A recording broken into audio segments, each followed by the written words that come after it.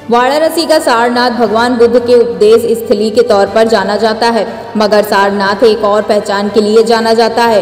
वो है भोलेनाथ के साले सारंगनाथ की। मान्यता है कि सावन के महीने में भोलेनाथ काशी छोड़कर देवी पार्वती के साथ अपने साले सारंगनाथ महादेव के यहाँ मेहमान बनकर रहते हैं। इस मंदिर से जुड़ी मान्यता है कि यहाँ जो लोग दर्शन करने आते हैं, उन्हें संतान सुख मिलता है। वहीं शिवलिंग पर गोंद चढ़ाने से हर तरह की त्वचा की बीमारियों से आराम भी मिलता है। सारंगनाथ महादेव मंदिर के मुख्य पुजारी मुकेश मिश्रा ने बताया कि कहा जाता है कि देवी पार्वती की शादी भोलेनाथ के साथ हुई थी। उस दौरान उनके भाई ऋषि सारंग तपस्या के लिए गए हुए थे। जब वह वापस लौटे तो उन्हें पता चला कि उनकी बहन की शादी कैलाश पर्वत पर रहने वाले शिव के साथ हुई है। वहीं ऋषि सारंग दुखी हुए कि उनकी बहन की शादी एक औघड़ के साथ कैसे हो गई। इसी बीच उन्हें पता लगा कि उनकी बहन और बहनोई काशी में है। इस पर वह ढेर सारे जेवर और स्वर्ण मुद्राएँ लेकर काशी आए। वह सारनाथ में पहुँचे तो उन्हें काशी सोने जैसी लगी। तब उन्हें अपनी सोच पर दुख हुआ।